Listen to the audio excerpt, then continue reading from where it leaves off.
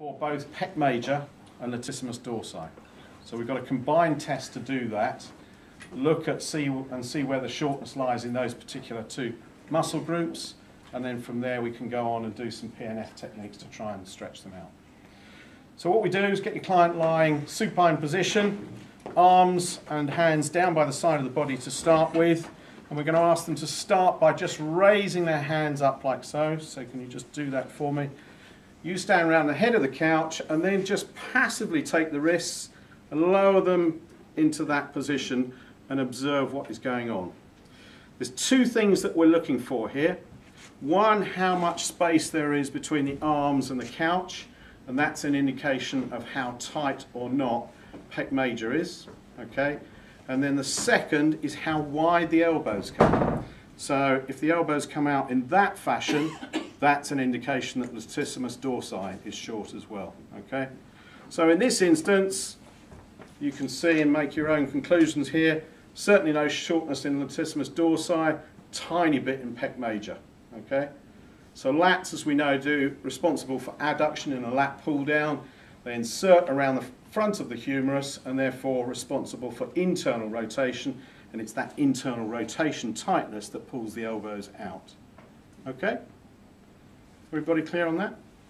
So if we take the arms back and start with, first of all, pec major, um, the best action to stretch that is horizontal abduction.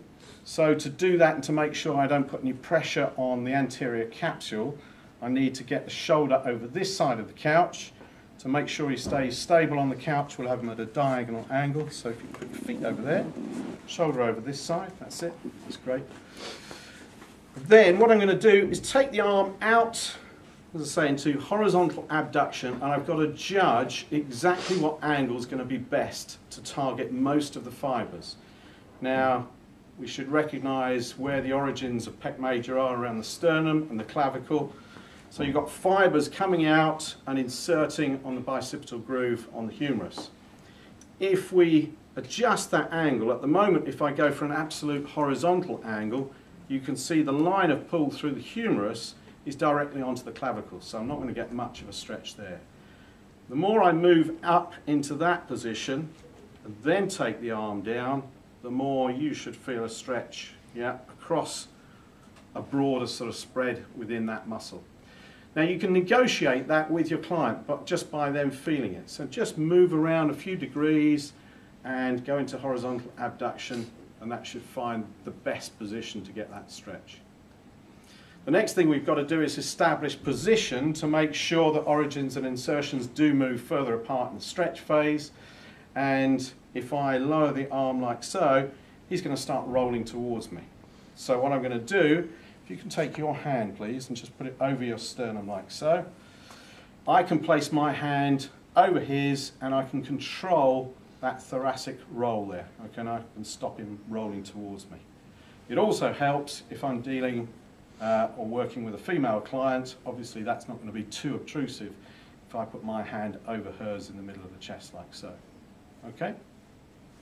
This hand moves onto the biceps because in a moment he's going to push up towards the ceiling so that his hand doesn't just, just flop around, he doesn't know what to do with it.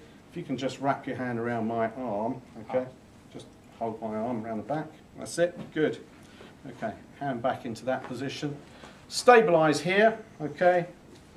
And you tell me where the best position of stretch is. Does that feel? Yep. That's okay. So I make sure the thoracic cage stays absolutely stable and I lower his arm towards the floor so he's going into horizontal abduction and we hold that position of stretch for our 12 seconds.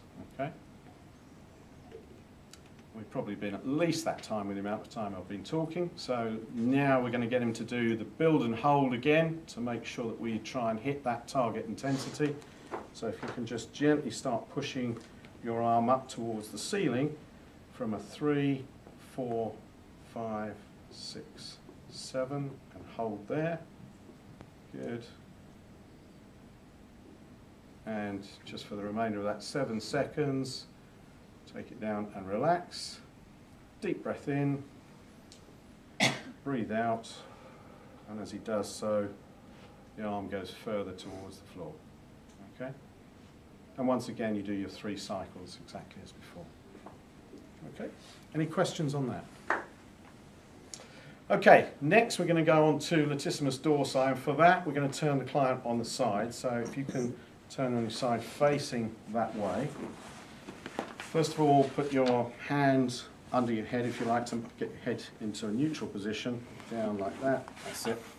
So we don't want too much side flexion of the head, make sure they're nice and comfortable, stable in the leg region, so he's got his knees slightly bent here, so that's okay. And the torso should be uh, fairly vertical in that, that plane, okay? The stretch position is for them to take their arm over the top like so, and just lower into that position. We've then got to control the stretch and this position will depend on your relative size as a practitioner in relation to your client. So if I had somebody who was really tall on the couch, I'm going to have a little bit of difficulty reaching out, putting a hand on iliac crest and a hand on elbow to try and get that stretch. My better position of control, if I can do it, is take control of this arm so I can move it around and stretch. To do that, stand behind the head, loop your arm in front like so, wrap around onto the triceps. And now you can see I can control that very easily. From here, I can stabilize the iliac crest and I can just sink backwards. Okay, so I'm not pulling using my arm, I'm just rocking backwards and getting into a stretch position. Can you feel that? Yeah. Okay. So once again, you're going to give it your 12 seconds of passive stretching, and then you're going to do your build and hold, and you're going to instruct your client, if you like, show them that's the movement we want you to do in contraction. And then you do your three, four, five, exactly as before. Okay? So your choice, if you can do it, take control of the arm that way. If they're too tall, then stand behind them and just use your arms to, to spread in that fashion.